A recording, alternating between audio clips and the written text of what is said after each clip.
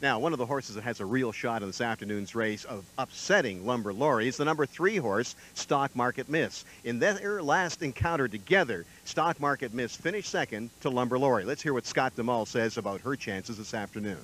She's a typical Wall Street banker, a little tough to deal with. Um, the best thing she does is race. She's a good racehorse. Uh, she's tough. She's gritty. What do you mean tough to deal with?